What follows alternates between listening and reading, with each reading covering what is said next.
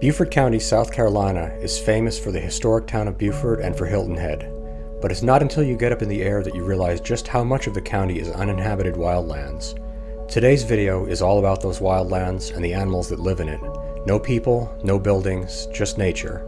Please enjoy, and if you like this video, please comment and subscribe.